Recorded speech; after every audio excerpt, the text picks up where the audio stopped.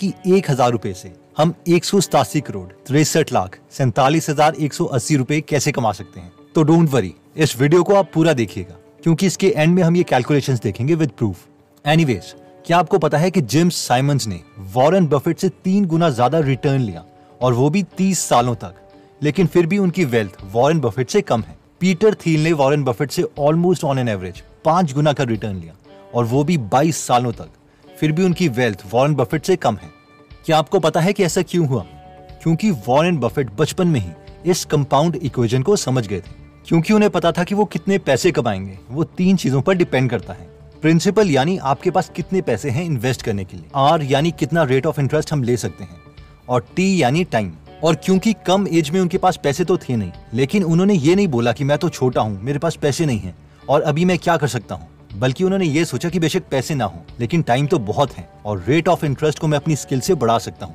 इसलिए कंपाउंडिंग मेरे लिए काम कर सकती है। वैसे ही हमें भी सोचना चाहिए कि बेशक हमारे पास अभी कम पैसे हैं, लेकिन हमारे पास अभी टाइम है, जो इस इक्वेशन में अवेलेबल है और उतना टाइम किसी 40 साल के इंसान के पास नहीं होगा। बेशक वो साल के एक करोड़ पे ही क्यों ना कमा रहा हो। तो इस वीडियो में हम डिटेल में ये देखेंगे कि हम किसमें और कैसे इन्वेस्ट कर सकते अपने पहले एक हज़ार रूपए को। So let start my dear brothers and sisters okay तो अब हम इमेजिन करते हैं कि आपके और आपके बेस्ट फ्रेंड के पास एक हज़ार रूपए है। आपका बेस्ट फ्रेंड उसे किसी एंजॉयमेंट के लिए खर्च करना चाहता है नेटफ्लिक्स की सब्सक्रिप्शन मूवीज़ एक्सेट्रा क्योंकि वो बिलीव करता है, यार प्रेजेंट में जियो। एक हज़ार रुपए से कौन सी किसी की लाइफ चेंज होने वाली है? फ्यूचर में मेरी अच्छी जॉब लगेगी और उसे पता नहीं कितने हज़ार रुपए कमा लूँगा। लेकिन आप आप थोड़े इंटेलिजेंट हैं लॉन्ग विजनिस्ट हैं। आपको पता है कि कंपाउंडिंग क्या है? जब इंटरेस्ट के ऊपर इंटरेस्ट मिलता है तो छोटा अमाउंट भी बड़ा हो जाता है। लेकिन इन्वेस्ट कहाँ किया जाए? सवाल तो ये है। लेट से आप निफ्टी फिफ्टी में 20 साल से 50 साल तक पैसे इन्वेस्ट करने लग जाते हैं। तो 30 साल बाद, यानी 50 की उम्र में, आपके पास 60 लाख के करीब एक्स्ट्रा कैश होगा। जबकि आपने इन 30 सालों में टोटल अमाउंट सिर्फ़ तीन लाख साठ हज़ार रूपए ही इन्वेस्ट किया है। और वो भी किश्तों में। इसकी कैलकुलेशन ये रही। अगर आप इसमें इंटरेस्टेड हैं तो इसके स्क्रीनशॉट ले सकते हैं। या स्लो मोशन में देख सकते हैं। इसमें हमने रेट ऑफ़ इंटरेस्ट पंद्रह परसेंट लिया है। पंद्रह परसेंट का real example with real data हम आगे देखेंगे। एनीवेज ये साठ लाख रुपए जो आपको मिलेंगे, ये एक एक्स्ट्रा अमाउंट है। इसके अलावा अगर हमने और पैसे इन्वेस्ट करे होंगे तो ये अमाउंट बहुत बड़ा होगा। अब जरा देखते हैं कि आपके बेस्ट फ्रेंड के साथ क्या हुआ होगा। उसे होश आता है तीस साल की उम्र में, और वो आपसे तीन गुना ज़्यादा, तीन हज़ार रूपए हर महीने इन्वेस्ट करने लग जाता है। इसके बावजूद उसके पास 50 की एज में सतारह लाख रुपए आपसे कम होंगे, यानी सिर्फ़ 43 लाख रुपीस होंगे। ये रही आपके फ्रेंड की इन्वेस्टमेंट कैलकुलेशन इसे भी आप एक बार देख सकते हैं। अब आप में से जो लोग इम्प्रेस हो गए हैं, वो सोच रहे होंगे कि, वाओ, ये तो बहुत अच्छे रिटर्न है। लेकिन ये रिटर्न मिलेंगे कहाँ से? तो मैक्सिमम लोगों को पता है कि ये निफ्टी फिफ्टी नाम का इंडेक्स फंड है, जो हमें ऑन एन एवरेज पंद्रह परसेंट का रिटर्न दे सकता है। इसके बारे में अगर आपको और जानना है तो इसके ऊपर हम क्या रिटर्न दे सकता है? इसके बारे में अगर आपको और जानना है तो इसके ऊपर हमने डिटे मन में ये सवाल आ रहा होगा कि, यार, अगर हम इतने पैसे कमा सकते हैं तो मैक्सिमम लोग सिप को कंटिन्यू रख क्यों नहीं पाते? रीजन वन ज़्यादातर लोग ये सोचते हैं कि अगर मैं हर महीने पैसे डिपॉजिट नहीं कर पाया तो क्या होगा? अब सिप का मतलब है सिस्टमैटिक इन्वेस्टमेंट प्लान और इसमें हम पैसे डिपॉजिट कर रहे हैं। ये कोई लोन की ई e नहीं है, कि अगर हमने नहीं भरी तो बैंक वाले हम पर कोर्ट केस कर देंगे। इसलिए सिप से डरने की ज़रूरत नहीं है।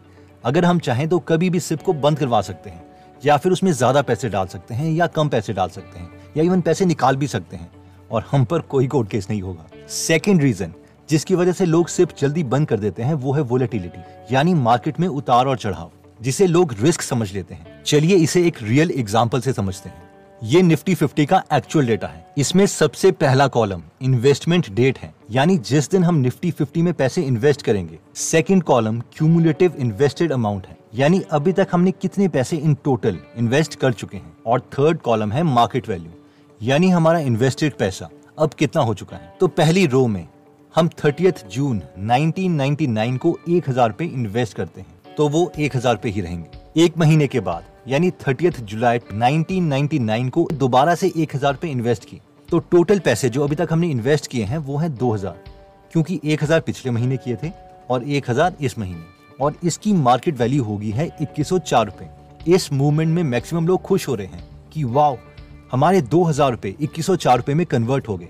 हमारे पैसे बढ़ रहे हैं। और एक सौ हमने दो महीने में ही कमा लिए, जिसका मतलब है कि हमने अप्रोक्सीमेटली 5.2 परसेंट दो महीने में अर्न किए, यानी साल के 30 परसेंट के आसपास। हम तो तहलका मचा देंगे, लेकिन रियलिटी में कोई तहलका नहीं मचा है। अभी हम आगे देखते हैं। हमारे इन्वेस्टमेंट के तीसरे महीने तक हम तीन हज़ार रूपए इन्वेस्ट कर चुके हैं, और वो बन गए हैं बत्तीस सौ सतासी रूपए। चौथे महीने चार हज़ार रूपए बन गए हैं बयालीस सौ छियासठ रूपए। यहाँ तक सब ठीक था, लेकिन फिफ्थ महीने अभी तक टोटल इन्वेस्टमेंट हमने की है पाँच हज़ार रूपए की, जो बन चुके हैं अड़तालीस सौ चौंतीस रूपए। अब आप बोलेंगे, यार, ये क्या? मैं तो लॉस में चला गया। अब आपको इस थियोरी पर डाउट होने लगेगा। अगले कुछ महीने फिर सिचुएशन ठीक होगी, लेकिन फिर दोबारा से फोर्टीन फिफ्टीन सिक्सटीन मंथ में आपके एनएवी की मार्केट वैल्यू आपकी इन्वेस्टमेंट से भी कम है। आप सोचेंगे, यार, साल हो गया है फोर्टीन मंथ चल रहा है। इससे अच्छा तो मैं किसी बैंक की एफडी में जमा करवा देता और ये चीज़ चलती रहेगी। इसे ही वोलेटिलिटी कहते हैं। आप ट्वेंटी मंथ में देखो। आपको दो साल से ज़्यादा समय हो चुका है इन्वेस्ट करते हुए। हर महीने एक हज़ार रूपए। लेकिन इन ट्वेंटी एट थाउज़ेंड रुपीज़ की value, twenty thousand two sixty seven rupees है। पूरे चार साल के बाद अड़तालीस हज़ार रूपए की value, forty two thousand eight thirty eight है। इस वक्त मैक्सिमम लोग बोलेंगे, क्या बेकार चीज़ है यार। पैसे बाहर निकालो, बेकार की वीडियो देखी थी। या जॉन बॉगल, जिन्होंने ये थ्योरी दी है, ये भी इडियट है। और जैसे ही आपने पैसे निकाले आपको लॉस हो गया। क्योंकि स्टॉक मार्केट में एक्चुअल लॉस या प्रॉफिट तो पैसे निकालने में होता है, वरना ये तो पेपर लॉस ही था। लेकिन जो सिप को एक्चुअल में कंटिन्यू रखेंगे और आगे बढ़ते रहेंगे, वो ही रिटर्न पा पाएँगे। तो thirty ten two thousand seven में जो लोग अभी तक टोटल एक लाख, एक हज़ार रूपए इन्वेस्ट कर चुके हैं, उनके पैसे हो गए हैं चार लाख, बारह हज़ार, नौ सौ सोलह रूपए, जो दोबारा से अब कम या ज़्यादा होते रहेंगे। सेकेंड मई 2017 तक आप टोटल इन्वेस्ट कर चुके हैं दो लाख पंद्रह हज़ार रूपए और आपका टोटल अमाउंट हो चुका है nine lakh twenty nine thousand five hundred ten rupees और फाइनली अगर हम आज तक की बात करें, यानी थर्टियथ अगस्त 2021 तक तो अभी तक हम इन्वेस्ट कर चुके हैं दो लाख सतासठ हज़ार रुपए और आपकी एन की टोटल मार्केट वैल्यू है अठारह लाख अट्ठासठ हज़ार दो सौ छह रुपए, यानी अठारह लाख रुपए।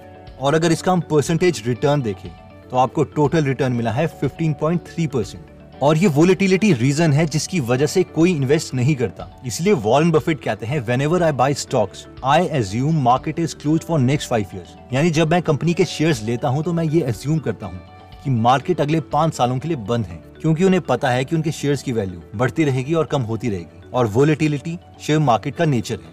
आई नो हमें से कई लोग बहुत बड़े ड्रीमर्स हैं, और आप लोग सोच रहे होंगे कि यार 18 लाख रुपए कोई बड़ा अमाउंट नहीं है। वैसे आपने हर महीने सिर्फ़ एक हज़ार रुपए ही डाले थे। अगर आप ज़्यादा इन्वेस्ट करते तो वो एक्सपोनेंशियली ग्रो करता। एनीवेज देखिए वॉरेन बफेट ने अपनी पहली इन्वेस्टमेंट करी थी 11 साल में। लेट से हम 9 साल लेट हो चुके हैं और हम इन्वेस्टमेंट स्टार्ट करते हैं 20 साल की उम्र में। एक हज़ार पे हर मंथ हम पैसे डालते रहते हैं और लाखों की नौकरी लगने पर भी हम कुछ पैसे इंक्रीज नहीं करते। देखो, अभी वॉरेन बफेट की एज हो चुकी है 91 इयर्स और उनकी नेटवर्थ है 6.4 लाख करोड़ रुपीस आप मुझे बताओ कि अगर आप में कोई स्किल सेट नहीं है, सिर्फ़ इंडेक्स फंड में ही हम इन्वेस्ट करते रहते हैं। तो आपकी net worth at the age 91 years क्या होगी? अगर हम इंडेक्स फंड का 15 परसेंट रेट ऑफ़ इंटरेस्ट माने और महीने के हम एक हज़ार रुपए यानी साल के सिर्फ़ बारह हज़ार रुपए इन्वेस्ट करते रहें तो अगर हम 20 साल से स्टार्ट करते हैं तो 91 इयर्स की एज में हमारे पास होंगे 187 करोड़ 63 लाख 47,170 रुपीस एंड 11 पैसे ये रही इसकी कैलकुलेशन इसे भी हम चाहें तो डिटेल में देख सकते हैं। आई मीन नॉट बैड हमें तो वॉर्न बफेट की तरह किसी भी कंपनी की एनुअल रिपोर्ट पढ़नी ही नहीं थी। सिर्फ़ एक हज़ार रुपए हर महीने खुद ब खुद ऑटोमेटिकली इंडेक्स फंड में जाते रहते हम में से जो लोग सोच रहे हैं कि यार 91 साल तक तो पता नहीं जिएँगे भी या नहीं, फिर क्या फ़ायदा? फिर मुझे ये बताओ कि आप खुद तो अपने को वॉरेन बफेट से कंपेयर कर रहे हो और उनकी एज तक का पेशेंस हमारे पास है नहीं। एनीवेज जो लोग स्मार्ट हैं वो इस वीडियो का मैसेज समझ गए होंगे और अपनी इंटेलिजेंस को यूज़ करके कुछ ना कुछ एक्शन लेंगे। तो दोस्तों बेसिकली इसमें हमने देखा कि अगर हमारे पास शुरू में ज़्यादा पैसे नहीं है, तब भी हमारे पास कंपाउंडिंग के मैजिक के लिए टाइम और इंटरेस्ट रेट है। फिर हमने देखा कि इंडेक्स फंड में जनरली लोग इसलिए कंटिन्यू नहीं कर पाते क्योंकि उसकी वोलेटिलिटी यानी उतार चढ़ाव है। इसके अलावा हमने देखा कि सिर्फ़ कोई बैंक की ईएमआई लोन की तरह नहीं है कि अगर हम इन्वेस्ट नहीं करेंगे तो हमारे ऊपर कोर्ट केस हो जाएगा।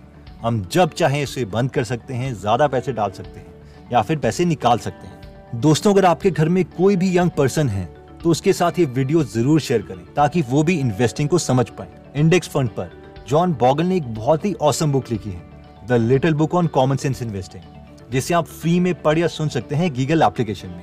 गीगल एप्लीकेशन में डेढ़ सौ से ज़्यादा नॉलेजेबल बुक्स